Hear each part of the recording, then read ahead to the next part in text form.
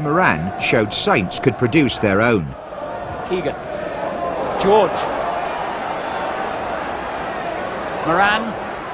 Channon wants it on the far post. But Moran tries and gets it himself. And what a splendid goal by Steve Moran. Now Channon trying his luck on the left with Keegan on his outside.